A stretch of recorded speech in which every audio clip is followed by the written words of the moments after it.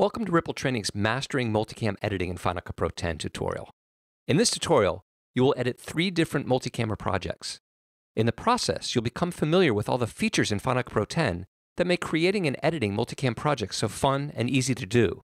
Specifically, you'll learn how to prepare media for editing, create multicam clips, understand and use synchronization options, check and adjust sync, angle ordering, and angle names, optimize the angle viewer for editing, make angle selections in real time, edit angles and timing, work with audio and multicam projects, and color correct add effects and audio sweeten multicam projects.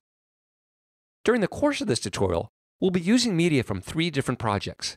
A simple two-person music video shot with three iOS devices, a five-piece band shot with three different camera types and nine different camera angles, and a dramatic short with multiple setups and takes shot with a single camera. In each case, we provided you with the media for the project so you can follow along every step of the way.